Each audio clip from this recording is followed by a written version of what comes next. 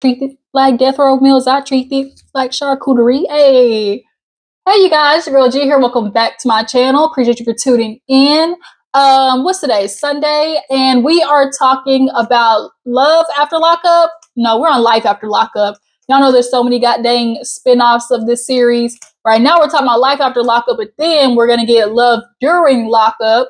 Um, hold on, let me make sure the light is on. Um, how Erica De Niro put it, is this recording? Shout out to Erica. But yeah, you guys, your girl G here. Appreciate for tuning in. Like I said, we're going to talk about life after lockup um, because it is a little bit of self care Sunday. I'm feeling a little bit um, tropical today. The question is, how tropical? Mm, do I take half? Do I want to do half or just want to do the whole thing? F it. Whole thing it is. That's just the mood for today. Um. So yeah, chew that on up and just enjoy the ride. I love me a good Eddie, but the problem is sometimes you be forgetting you be taking them. That just be the crazy part. You forget you take them. The next thing you know, you doing laundry. You sitting here wondering why you feel like you've been doing laundry for an hour. But nonetheless, you guys, life after lockup. I'm a little bit late on this. Let's go ahead and get into it. I know I didn't get a chance to review last week's episode. I was in the middle of a whole busy weekend. I was in auntie mode, had my nieces and nephew come over. So I just was tapped out. I did not have the energy to do it, but we're going to get into this episode. Even though this episode was a little bit milder, there definitely is still some things to discuss, okay? So, you already know what to do. Make sure you drop it in the comments. Make sure you hit that like button. Okay, did your girls wonder in the good old algorithm? And if you're new to your girls channel, go ahead and drop it in the comments and let me know where you found me at. Go ahead and let me know where you slid on through here, okay? Um, so open up the episode. We have Bianca and Daniel. Now, for those of you who have been on your girls channel, y'all know me and Bianca, oil and water, okay? I just don't like Bianca. She literally reminds me of a bratty teenager. Like she literally throws fits, she pouts, and it's just like she does stuff. And then when it's time to explain how her actions could cause, you know, somebody else's reaction, it's just not clicking. I.e., you have a boyfriend slash fiance slash wannabe husband that is an addict. And you keep telling not only him, but his family a mom who has already lost a son to overdosing addiction, and you are constantly telling that mama, well, it's your it's your son with the problem, not me. Like I'ma stay drinking my liquor. Like I don't know what you're talking about. Uh, even though we're in a relationship, I don't care. Like I don't care. I'm gonna do what I want to do because drinking is fun. Although, girl, you literally had your head knocked in because of a drunk driver. So it's just kind of like it, the fact that it's not clicking is even more reason why we understand that you're on the pathway to hell. Like you are basically on the roadway to hell and you don't care who you take down with you. And it's a very dangerous game that she is playing, especially for the fact that last episode I want to touch on the thing that I did not like. And she did exactly what I told y'all she was gonna do. Didn't I tell y'all on one of the first reviews? I said Bianca's one of those girls who's gonna go home. I mean, go out, get drunk, come home, and try to rub it off on her boyfriend and think, oh, if I seduce him into it, then like he'll he'll just cave into it. And when she was drunk, she kept trying to kiss him.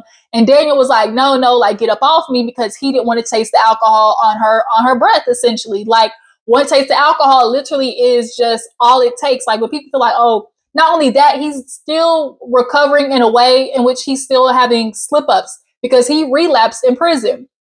And so in her mind, all she thinks of it as is, well, you know, he doesn't wake up, you know, wanting to do drugs. No, Sherlock, like, no addict wakes up thinking like, oh, I'm going to go do drugs today. Like, it literally sometimes is a split decision. And here you are, like, trying to kiss him and like think it's funny to be like, oh, give me a kiss. Like, she literally is on the pathway to destruction. And if he falls back into the addiction or falls back into liquor, along with her habits of alcohol, with the amount of money that she has expendable, y'all, that is a recipe for disaster. That is a episode of, of intervention if I ever seen one. But nonetheless, back to this episode, they're basically picking up where they left off from the fight that they had the night before because of it. So now it kind of snowballs into like how he feels about her. kind of really being um I, I guess I'll say forceful uh in the aspect of like her thing is like I get where both of their sides are. Like on her side, she's feeling like, well, dang, first of all, I spent all this money while you were locked up. I spent all this money to move here. I'm with nobody. I'm all by myself. Like I've done all of these things. And so when I ask you for a simple cup of coffee, it's like, dang, that's the least you can do to show me that you care. But in Daniel's mind, he's thinking, well, I am show you that I care, girl. Like I woke up, I cooked you breakfast, you know, and so the coffee is like the least you could do is get up and get your own coffee. But I think it was the manner in which Bianca did it, which was she did it as, asked for in more of a like expectation kind of way, where she's already feeling like, well, nigga, you owe me, like you owe me. And so that's why he's like, don't throw that in my face. You did those things for me because you love me, right? So don't try to throw those things back in my face. So then Daniel starts going into this whole rant of like, I'm not your maid, like cooking and cleaning and, you know, things around the house. Like, I'm not just gonna be picking up after you. Like, you got legs. And so she's like, well, that worries me because what if like we had kids, you know, am I just gonna be sitting here doing it by myself? And he's like, well, no. You're like, no, that's different. I'm in the back of my head, it's like, no, it's really not. Because if she's with child, and you plan on being the the father that's a better version of what you already were to the son that you already have, which is absentee, that's gonna require you to do a lot of getting up, Daniel. It's gonna require you to do a lot of cooking and cleaning and, and, and maidening help, okay? So already Bianca's thinking red flag, red flag. And then as she's talking, like, this is so pointless, like you don't get it. He was like, stop talking, and like he raised his voice. And I saw it in her face. She literally had like a PTSD moment. She literally, you saw her face kind of was like, don't yell at me. Like she got trembled. And I think that's truthfully, honestly, one of the first times that he's raised her voice at her like that. And so she immediately shut down. She was like, don't yell at me. Like, don't talk to me like that. If you talk to me like that, like, I'm going to shut down and I don't want to do that. Like, I literally like hate you right now for doing that. Like, don't yell at me. And so he stands up and is walking off. And so she's already threatening basically like, well, maybe we don't need to be together because she's pushing for the whole marriage thing. And he's like, whoa, whoa, whoa, wait a minute. Ah, ah, ah. Gotta be quicker than that. Marriage, we don't need to put that on the table right now. And so she did ask a fair question of like, well, why the heck did you ask me to marry you while you were locked up? Like, what did you do that for? And finally, he admitted that he kind of did it. He said it in the wrong way. He said it like, well, it was just, a, it was just a dumb thing and it was like, don't say like that. Like, don't say like it was dumb for me asking you to marry me. Like, it, it should have been said like that, but it really was impulse that made him do that. He didn't want to want to lose her. One, because I guess he loved her, and two, because she had the munions. Okay, she had the coinage that he needed, you know, to maintain his prison life, as most of those, you know, convicts do. Um, but now that marriage is off the table, shoot, plan B need to be on the table, uh, if you know what I mean, Bianca, because what's going on right now between y'all, a baby does not need to be thrown into that mix at all. But she literally, you can tell also with how she was talking to the producers, she was like, This is how it starts. You know, it starts with the yelling, you know, starts with something small like yelling, and then comes the throwing things, and then comes, you know, the physicality. And I think she did express that she was in a, a you know, a, a, a domestic situation in her last relationship. So I think she's, you know, obviously still needs to heal from that. Obviously, and with that whole baby miscarriage situation. And then not to mention, you know, she's so young and it's like impulsive. She's young, impulsive, and with a lot of money. That's just a recipe for disaster. And then on Daniel's end, he's already kind of feeling like indebted to her because she has basically bankrolled his whole life. And he's now going to be having these kind of like ego pride issues for when she maybe does ask for him to do something considerate for her because it's not unfair that she asks like you do little things to show that you care, Daniel. But in his mind, it's immediately going to go to basically, I'm not going to be a little bitch. Like in short words, like you're not going to have me run around doing stuff for you because you've done all this stuff for me, essentially. And he's going about it thinking about it the wrong way because he really would not have nothing if it wasn't for her. So basically, to sum all their, their stuff up, two words shit show. Okay. So moving on, we have Teenie and Rob. You know what I'm gonna say about Rob? Okay, Rob, Rob. Okay, he literally just looks like he could be on the scene with like a, uh, I don't want to necessarily say like who does he remind? Like he gives like '90s heartthrob, like handsome. You know, y'all get what I'm trying, like how I'm saying. Like he just gives '90s heartthrob vibe. But nonetheless, he wakes up with Teeny, get ready to go to work, do the smooches, morning, hugs, kisses, husband, wife, and um, he goes to work. And so I guess basically on his lunch, she comes and, you know, hangs out with him and things like that, brings some lunch and whatnot. So we finally get a sneak peek into uh, Rob's job. He does kind of like a uh, maintenance for like the trucking and thing like that.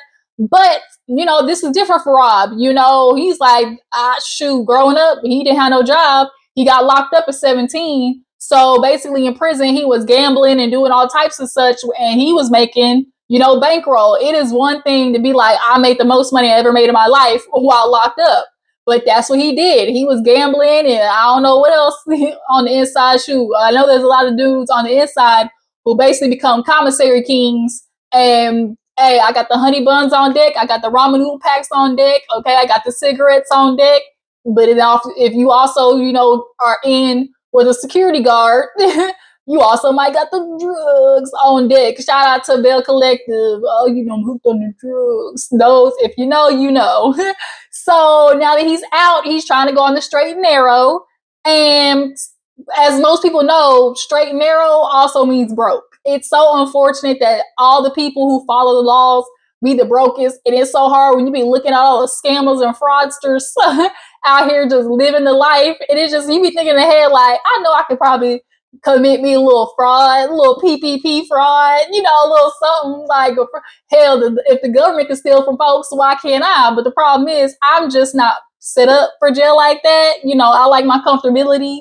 Um, yeah, no, that's just I can't do it. Um, so and it's like I don't want to be the one that God make a lesson out of. Like I don't want to be the one, but Rob is sitting there with Teenie and speaking of money, he basically is like, now look, I know I've been working and everything, but if I want to get into like driving where there's more money, it's going to require you know classes and everything, and that also requires money as everything costs. It literally costs to breathe out in this bitch, okay? So she has to get a job. And she's like, obviously, you can tell she's like, I've been enjoying being off. She's been working since she was 20 when she had her when she had her daughter. So I'm sure for a lot of women, it feels good to like be like, shoot, my man got it. what what um uh, everybody hates Chris. The mama be like, I don't need this. Shit. My man got two jobs. Okay, like that's how she feels right now. I ain't gotta go to work. My man got it. But but uh, he don't got it. Okay, so now you're gonna have to get back to work. And she said, all I gotta do is spruce up my resume. And you know, it shouldn't be that hard. Now I don't know what field she was working in, you know, before she stopped work, like before she quit, um, or went on a hiatus. I don't know what her field is I'm a little concerned that she's thinking like, oh, in two weeks I'll have a job because man, if you ask everybody else out here who's been filling out these applications, jobs be like, we hiring, but then ain't hiring nobody. You you literally could go in overqualified at this point with some of these companies. Um, so yeah, after he gets off work, he comes home and they start talking about everything. And this is where Teenie, Teenie, I'm having to get into your ass a little bit because you act a little bit like Zuri she tells him about the the the season pass with the kids and how it was two hundred fifty dollars. And he perks up. He was like, "Wait a minute, whoa!" Because I already told you at lunch, like anything over hundred dollars, let me know. But that's not what Teenie did. Teenie, in her mind, although it was a reasonable purchase, I get what she's saying. Like, shoot, if they have a whole pass and it's unlimited amount of times for two fifty, that's way cheaper than us, you know, paying to go to any type of arcade or this, this, and that. Like, shoot, we can just literally go there for a quick little breaky break. But Teeny, you're not focusing on what the principle of the problem is, which is you didn't have the discussion with him. See, she's like putting on him like you're being upset. Oh my God, it's just a it's just the past. Like, why are you being so upset about it? And it's not the past. That's the problem. The problem is you didn't communicate with him. And Zuri tried to gaslight uh, Troy into the same thing. Everybody always talking about they want to hear the truth, but when they hear the truth, they can't handle it. No, Zuri, the problem that you went uh that you wasn't telling Troy the truth. The problem is you want to wait till now. Like, you know, he ain't got a problem with the truth. He got a problem with you. You were waiting to talk about it with him, and now y'all two months behind on rent, and now you want to throw it in his face like, hey, I'm finally telling you the truth. Well, girl, wait a minute, that's too late now. And now you get mad at him. No. And so, TD, you are missing the point of like, he's not, you got to communicate with that man, especially him being a man that's trying to be a provider out of jail and everything, trying to go about it the right way. Like, you can't be sneaking stuff up on him like that because he'll slip, end up back in the streets, and then you be upset. So now they downstairs, and it's very clear now she want to pick a fight with him.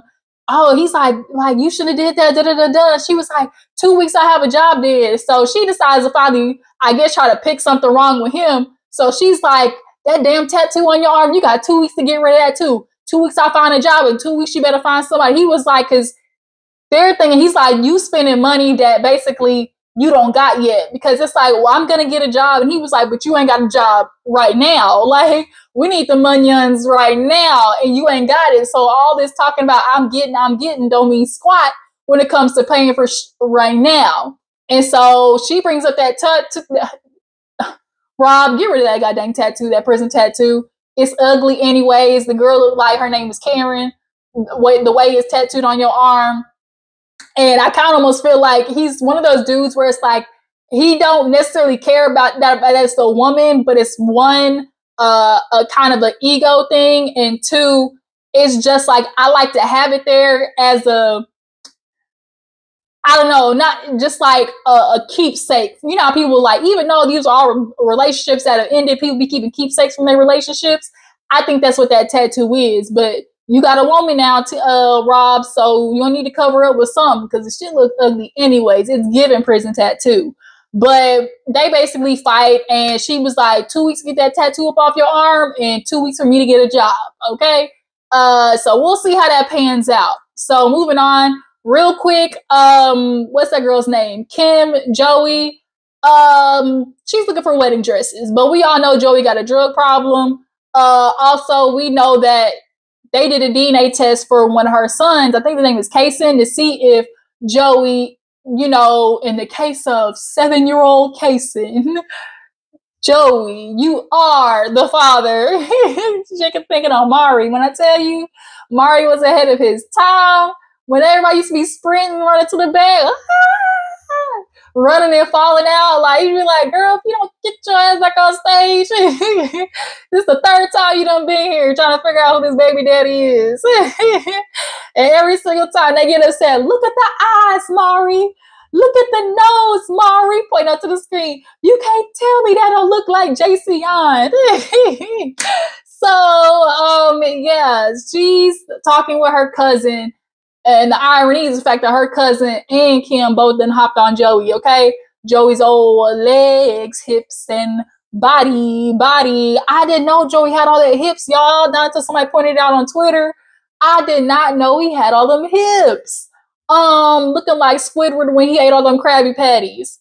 So basically, she's explaining to the cousin the whole situation, and she's just kind of like, "Girl, I don't know what to do here I am looking to get married again for the third time, but shit, I'm also not divorced either. So now the cousin's like, girl, look at the mess you done got yourself in. You try to get married again, not only to Joey, who ain't got no job, he's also a recovering addict. And I'm sorry, y'all, Joey is giving relapse central.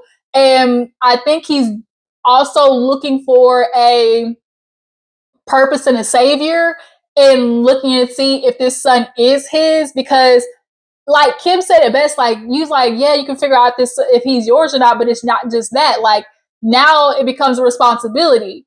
And a responsibility for Joey right now, all that pressure, it ain't looking too good. And the way he denied that drug test, not denied it, but necessarily kind of was like a little shaky when old dude asked about it, is giving real gotta keep my good eye on you, Joey. Um, but Kim is the one bankrolling everything. We already know he can't keep under budget. And it's just kind of like this is a recipe for a disaster. But you know, the cousin, she wanna be there for Kim. Kim, you looking real stupid right now, if you ask me. But we'll see how that plays out after the whole DNA test and everything. She's in her mind just kind of worried about it. Um, and then if it comes the fact that this uh, boy is his, what if the, the ex-husband doesn't, you know, divorce her, try to make it harder for her or to be petty? Like all that stuff can be a snowball effect. So well, I guess we'll see next episode whether Joey is the pappy or not. So another one looking for a wedding dress is Bree and Kerok. So they are at the the little um, diner going through their finances because y'all know they have been in government hotel assistance because Texas then denied them for the second goddamn time. I really do feel bad for them because in this situation, Kerok is already off parole, so that helps a lot. Um, and so in that situation, when they're in the diner, you know, they're going over their finances, and Kerok kind of was like, you know, if I have to, you know, go to Texas because Brittany basically was like, look, if you gotta go to Texas because that's your job, like you might not keep that job. And that is a very thing. Having an HVAC job is very lucrative. It's a lot of money, you know, and that's the only way to help, you know, kind of both of us in this situation. You go ahead and go. And Kerok was like, the only way I'll go is if you marry me. And so she just kind of like, what? He was like, yeah, let's elope. Because at the end of the day, like, they're sitting there talking about, oh, family this, family that. If we get married, then I'll technically be your family. And they want her name on a lease now. All of a sudden, they're like, yeah, you got to have your name on a lease too. Like, it's definitely giving they're trying to make it difficult for her to kind of deter her from coming. And so she agrees. And so now they're looking for a dress. They don't want to tell nobody though because it's all it's an elopement. But they also know their family is crazy, and if they find out, they'll be pissed off. Um, but they agree nonetheless because at this point they got no other option. They're staying with I think the name is Cookie. What's the name? Cookie, uh, Foxy, something like that. His uh, kind of like you know jail mama. Um, and they're staying with her, and it's like it's a hotel. It is at this point, you know. And so um, uh, they go uh, wedding dress shopping, bring her friend. Now her friend, she kind of got the feeling of Kerok that I low key kind of got too.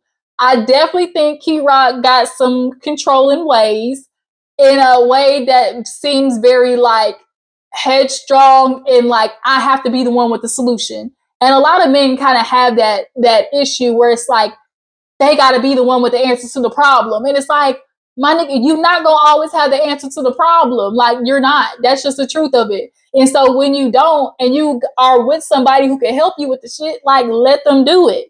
And that's like why Bree had to, you know, take the phone call where Kerok was going to go off on the PO. Like that wouldn't have helped the situation.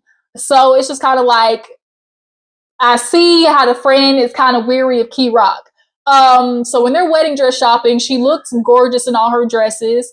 But the friend is just like steady asking her questions because the friend is doing what a friend is supposed to do. Give all the questions and arrangements and everything. Like I'm supposed to help you cross your, your T's and dot your I's in this situation. It's like, okay, if you get there, what's gonna happen next? Like, are you sure you want to elope? Like, if your family find out what they're gonna do.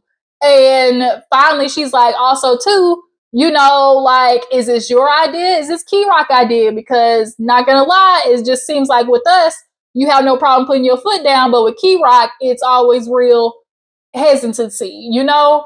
But she put her foot down, was like, we're getting eloped. You know, that's what it is. Because at this point, like, they keep denying me. We don't know what else to do. And staying at a hotel where a crackhead is down the street at the vending machine, don't nobody want to do that. don't nobody want to say at Crackhead Central. Don't nobody want to do that. So, you know, um, she's like, we got to figure out something, okay? So finally, Kerok, he, although they said they weren't going to tell nobody, called his mom and she didn't answer the phone though. So his kind of like, you know, prison mom basically was like, you know, she'll love you regardless. I know she would want to be there and everything, but like, y'all just handle it. And so Brittany, she ends up calling the, the PO because the friend was like, just ask because what if y'all do this and then shit still don't work, you know? So Brittany finally calls a PO in her wedding dress that she found was super cute. And the PO basically was like, now look, I wouldn't advise y'all to do that because the especially in the parole situation and particularly the state of Texas, they're very weary of people just basically getting married to say that we're family. Like people will just get married to be like, oh look, we're family, so somebody can move down there and y'all ain't really together. So if y'all do this now, especially after being denied twice, if they do this now, it's definitely gonna look like, oh, y'all just, you know, trying to figure out a way in, like y'all trying to take a shortcut. And so he basically lets her know, like, um, I'm gonna let you know. Now, I wouldn't do it, but you do you. Like, I'm just letting you know it's gonna look real funky to them that now all of a sudden y'all coming back talking about we's married now. Like, it's gonna get fraudulent. And that really is unfortunate because I really do have a soft spot for Brittany and Kerok, but it's like, dang, it really does suck. Like, if you, when you are a convict, ex convict, whatever, like once you have that stamp, people treat you differently. And it's almost like you can't move on from being like a convict or having a, a bad background and just like growing from that. So that just really sucks. Um, because y'all want, y'all claim, you know, the society always claims they want people being, you know, contributing members of society, but they also want people to be in jail doing free labor. And so that's like why that whole PO situation was invented because it's like the minute y'all hop out, we're gonna give y'all a reason to get locked back up. Um, so yeah, she called the PO and heard that mm, you might not want to do that. Um, so moving on. Um, who else do we have? I think who's left? Let's get into um Justine and Michael. Who else is there? There's one more. Oh, Melissa and Joey. Let's go ahead and knock them out. So Melissa and Joey. Is it Joey? I think it is Joey. Louie. That's what it is. I'm like, it's some ooey. Louie. Such an Italian name. I'm like, Louie is some with a ooey. Every Italian name is always some ooey or Ario. So um yeah, Louie, y'all know he's on his training thing, you know, supplements, pizza store, whatever. Um, and he just got done buying a ring for Melissa and it's Melissa dad's birthday, so he wants to basically ask for, you know, her hand in marriage. So she was talking to her sister as they were picking out a, a gift for her dad, kind of like, you know, I don't really know what to do in these situations like this because all my past relationships, you know, these men did me dirty. And so she's like, I do kind of feel like I low key sometimes like turn into like a like a monster in a way to like back people off of me. And even when the minute she got with Louie, I knew that she was doing that. Melissa is literally a, a, a head case. Like you could literally do a case on her and in just examples of how people will project like fighting and anger and everything to really truly keep from in their mind feeling like oh i'm falling even more in love with this person or whatever so uh, when she does kind of be, and I don't like it because it's like, girl, you really got a good like from so far. Louie looks like like he's on the track to really working to try to do things right by Melissa and by himself. Like he hasn't relapsed. He's got a job. You know, like he's trying to do it. You know, he's trying to do what he said, put his money where his mouth is. And then the fact that Melissa, you're still like bitching about it, it's like it, he feels like he's in a lose lose situation a lot of the times.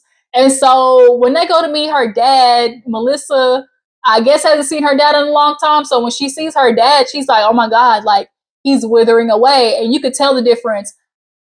I I mm, I don't know if her dad is kind of like one of those old school dudes where they find out they're sick and they basically just kind of don't tell the family. They don't want to tell the family until they damn near on their deathbed, like, hey, I got a month left to live. Because it's like they don't want to have that bad news. Like they don't want to have to tell their family, hey, I'm sick or this or that. Like something possibly is going on health wise with her pops.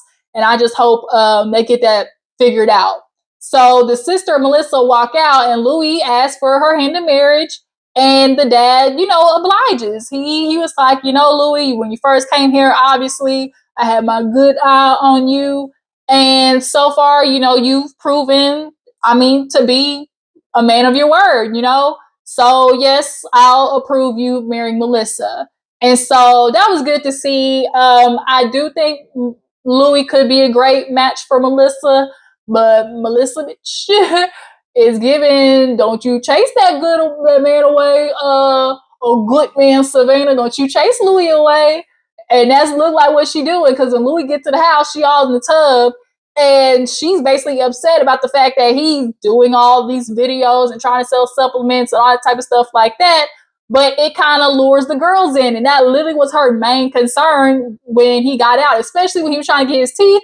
She was like, I basically, he, he it was like his version of getting his body done uh, and getting flued out. She was like, I don't want you getting your teeth done and then feeling like you're gonna grin up all up these other hoes' faces. And now the girls is on Louie.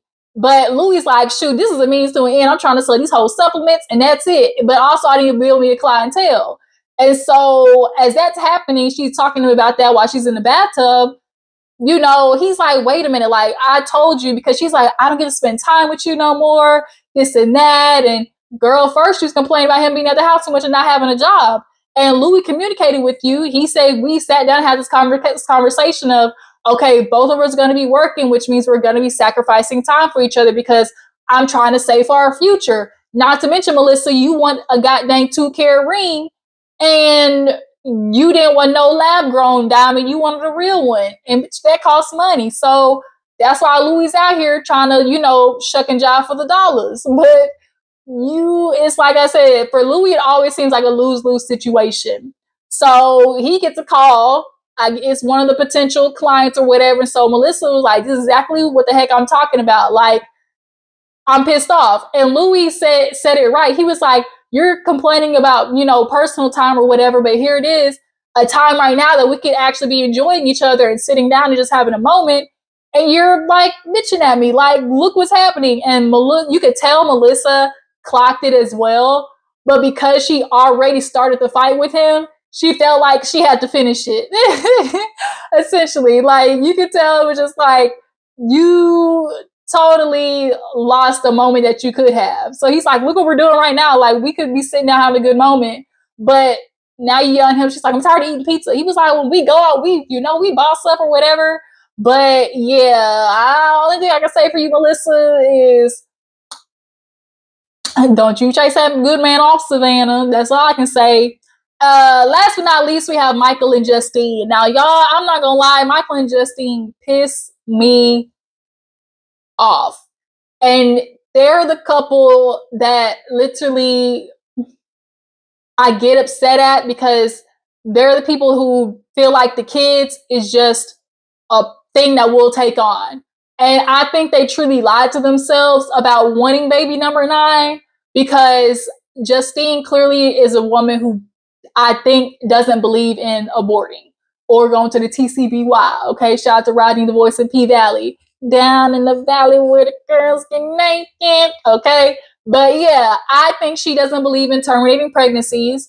And so when they found out she was pregnant, it was easy, easier for them to be like, yeah, you know, eight is great, but nine is fine. You know, like we we wanted this, you know, and it's like mm, no, y'all didn't. But it's okay. You take on what you got.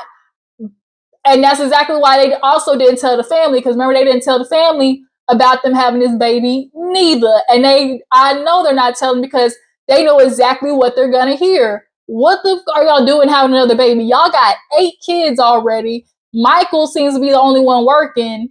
And y'all are, y'all are struggling to keep eight kids that are also not only all biologically yours, they are from two separate families. So now you're having to blend families.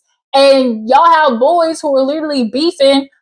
Uh, Michael, you need to get your son with his big bike to quit bullying her son.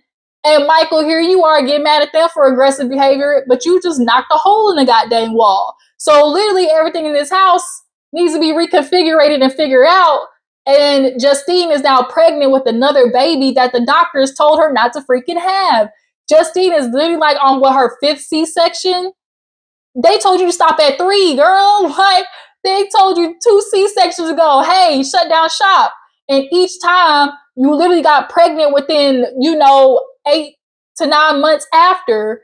Like you could tell the doctor in the back of her mind wants to cuss Justine out, but you know, keep it cute and demure. Don't want to lose my job. Um, so yeah, now Justine is here at the lawyer's office having to create a will.